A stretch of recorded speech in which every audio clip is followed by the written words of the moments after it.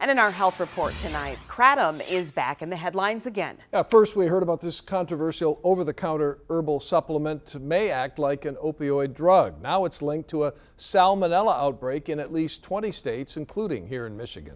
Our chief health editor, Dr. Partha Nandi, joins us now with how many people have gotten sick. So, Glenna, this is really more bad news for Kratom supporters. 28 people have been sick with salmonella, and the CDC believes it's the same strain as genetic testing have linked the reported cases. Luckily, no one has died, and only 11 people have needed to be hospitalized so far.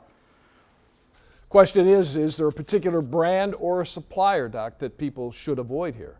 So Dave, the CDC is telling us to avoid them all because they haven't identified a particular brand as salmonella source and they don't know yet how the supplement became infected. Now you've heard me talk about salmonella plenty of times and oh, likely remember that you usually get it when you eat foods contaminated with animal feces that contain the bacteria.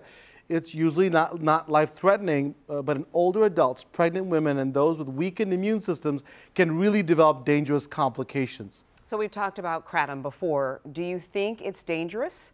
And I'm really concerned. It really has definitely has a lot of red flags, including 44 deaths connected with kratom since 2011.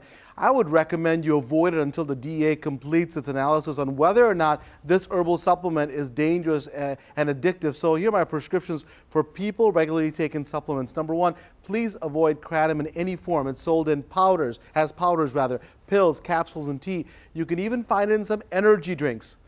Be sure to check labels. Kratom goes by other names like Thang, T-H-A-N-G, Thom, Kakuam, Ketum, and Biak.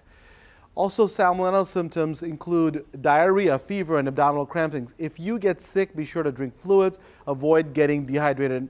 And finally, your body has natural defenses to protect you against salmonella, but know that these can be weakened if you take antibiotics or have inflammatory bowel disease really important. Hopefully everybody you know takes heed and avoids kratom until we can get a better idea what's going on because people are dying. All right, Doc. Thank you so much for those tips.